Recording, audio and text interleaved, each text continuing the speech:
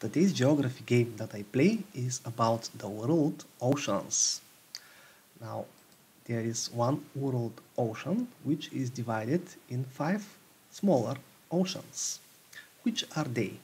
Now I will sort them on the world map and I will begin with the most northern ocean, which is the Arctic Ocean. While I'm here, I will place the Southern Ocean, which should be at the bottom. The, these are the waters at the bottom of the planet. And maybe the biggest ocean, that should be the Pacific Ocean. It is divided in two parts because, well, how to make three-dimensional sphere on two-dimensional screen. well, you cut it.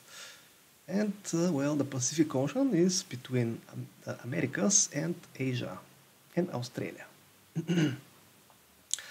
then I will place the Atlantic Ocean between Europe and Africa and South, South and North America. And finally, the Indian Ocean, which is easily remembered, it is under India. Alright?